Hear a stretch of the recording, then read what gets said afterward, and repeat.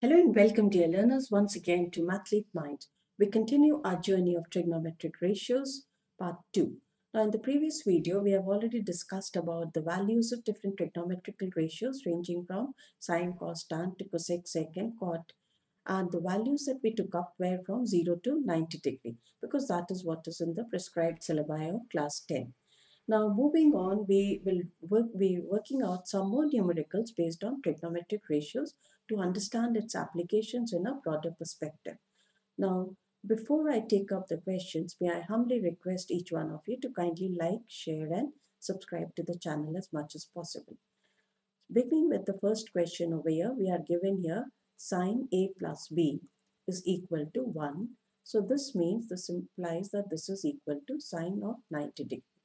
So this concludes or we can get that inference from here that A plus B is equal to 90 degree. Now here sine A plus B is equal to 1 is sine 90. Please do not uh, take the trouble of cancelling out sine from both the sides because sine A plus B does not mean it is a product of sine and A plus B. Sine 90 does not mean it is a product of sine and 90 degree. So here we cannot cancel out this but this implies that A plus B is 90 degree. The second condition that is given is cos A minus B is equal to 1 so this is equal to cos of 0 degree. So A minus B is equal to 0 degree which implies that A is equal to B. Both the angles are equal. And A plus B is 90 degrees. So if we put the value here of A, B as equal to A, we get 2A is 90 degree which implies A is 45 degree and B is also 45 degree.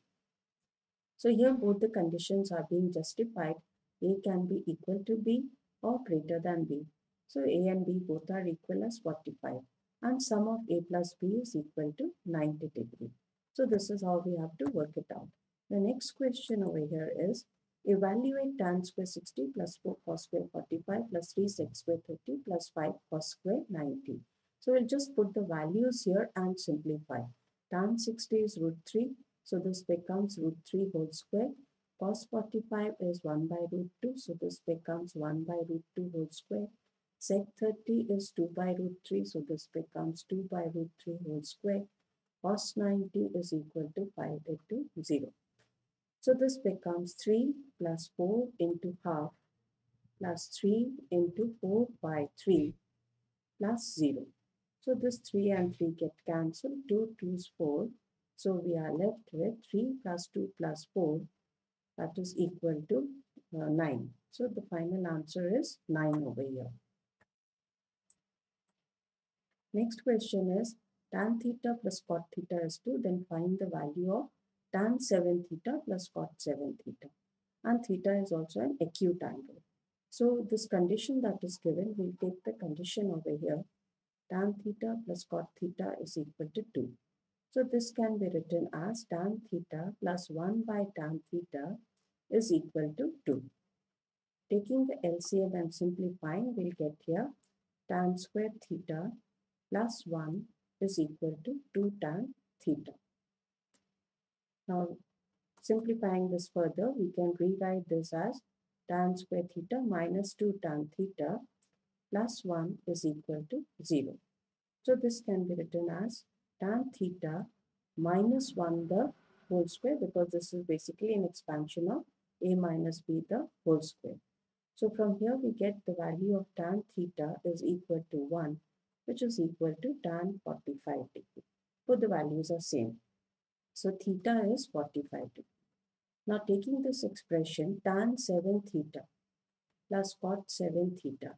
This can be written as for tan 45 degree whole to the power of 7 plus cot 45 degree whole to the power of 7.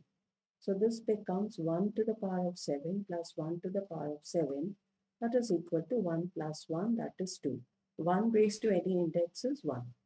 And here if you notice over here, whenever we get uh, whatever index this tan 7 uh, theta and cot 7 theta raised, we'll always get the value as 2 over here because 1 raised to any index is always 1 provided we are given tan theta plus cot theta is equal to 2. The next question is if x is 30, then verify that sine x is equal to under root 1 minus cos 2x by 2. So if x is 30, 2x will be equal to 60 degree. So left hand side of this equation is sine x that means sine 30 degree. So this is equal to sine 30 degree that is equal to half. So the left hand side is equal to half. Right hand side what happens to the right hand side?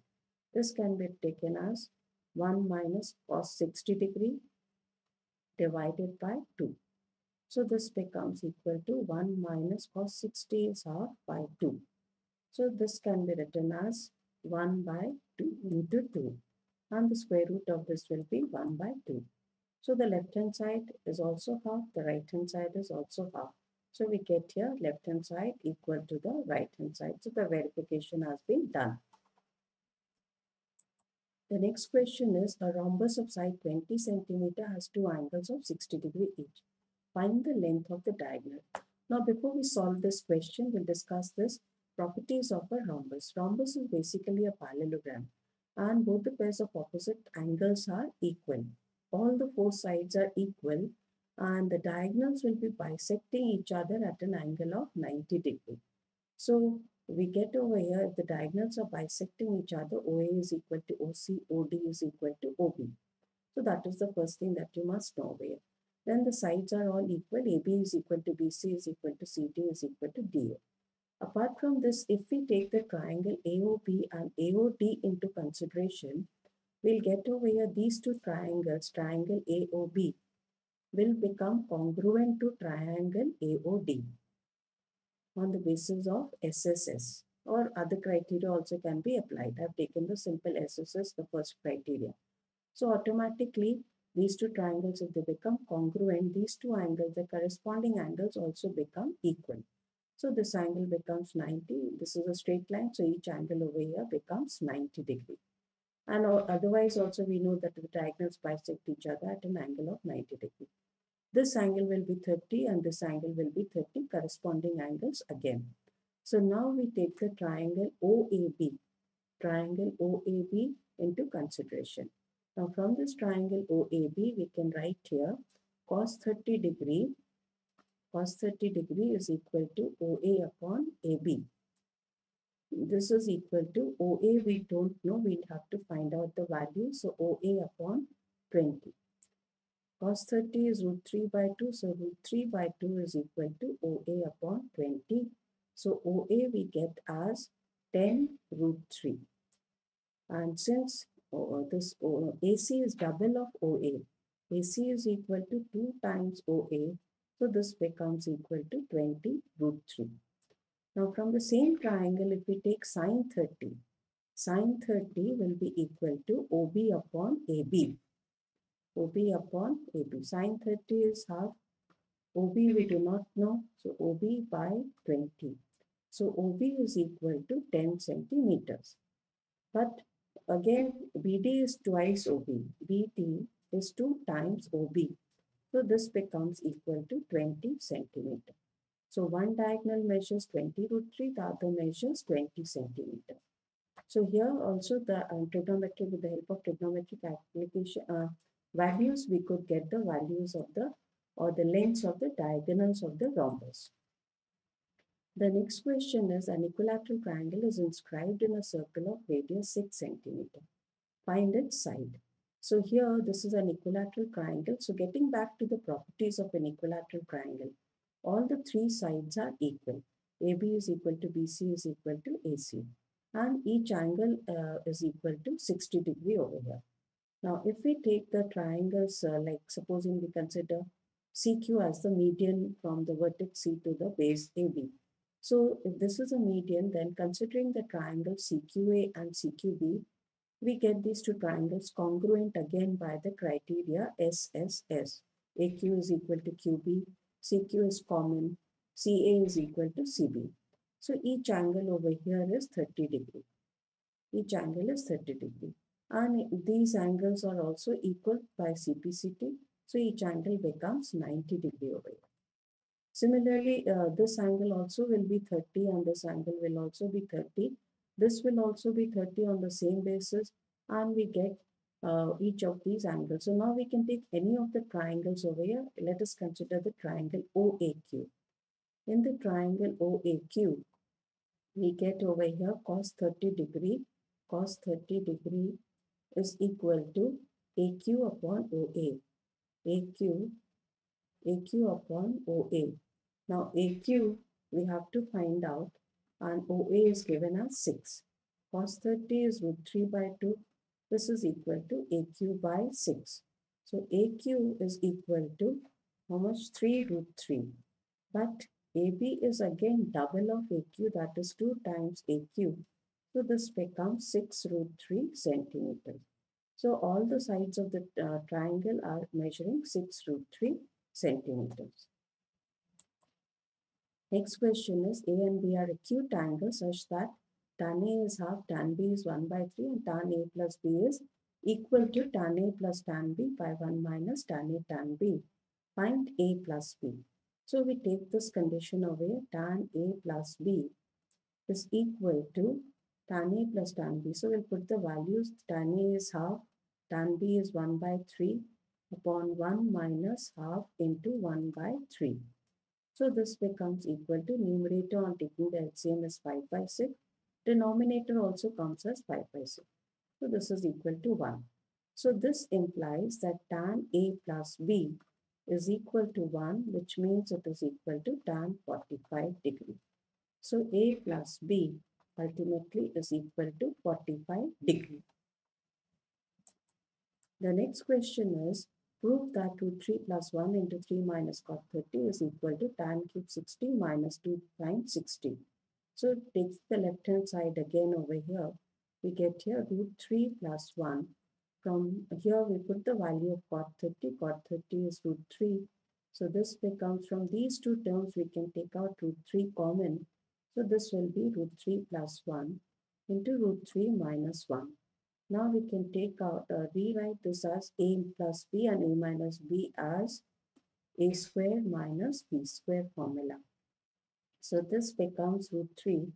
3 minus 1 that is equal to 2 root 3. So left hand side is 2 root 3. Taking the right hand side, right hand side is tan cube 60. So that means root 3 whole cube.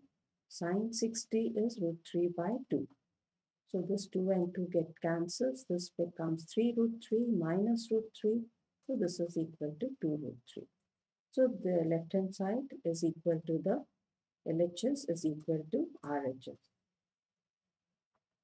Moving on, the next question is, if x is 30, then verify that tan 2x is equal to 2 tan x by 1 minus tan square x. So again, if x is 30, 2x will be equal to 60 degree. So the left hand side over here is tan 60 degree that is equal to root 3. Left hand side is root 3. Right hand side over here will be 2 into tan 30 that is tan 30 by 1 minus tan square 30. This is the right hand side. Putting the values of tan 30, this becomes 2 into 1 by root 3 by 1 minus 1 by root 3 the whole square. So this becomes equal to 2 by root 3 divided by 1 minus 1 by 3 that is 2 by 3. So ultimately after simplification we get the numerator as root 3. So we get here the right hand side also root 3, left hand side also root 3. So these were some of the different type of questions that we have done over here in applications of uh, trigonometric ratios. And you need to practice more of these type of questions to become thorough with it. So with that, we come to the end of this video. We'll continue with trigonometric identities in the next video. Thank you for watching. Hope you like the contents of the channel. Kindly like, share and subscribe to the channel.